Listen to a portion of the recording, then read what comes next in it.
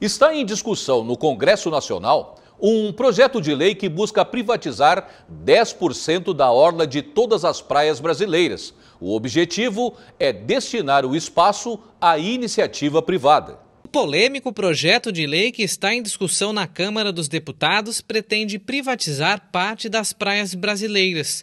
O PL, de autoria do deputado Isnaldo Bulhões, do MDB de Alagoas, pretende destinar 10% da faixa de areia dos municípios costeiros para a exploração da iniciativa privada.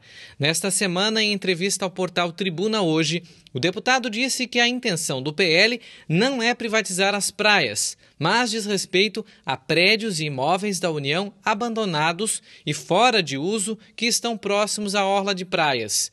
No entanto, no texto se permite a criação de uma zona especial de uso turístico que delimita 10% da faixa de areia de cada município, que poderá autorizar restrição de acesso a pessoas não autorizadas, limitando o uso a empreendimentos turísticos como hotéis, parques privados, clubes, marinas e outras que sejam autorizadas pelo Ministério do Turismo. O texto só proíbe a destinação do espaço para propriedades de uso unifamiliar.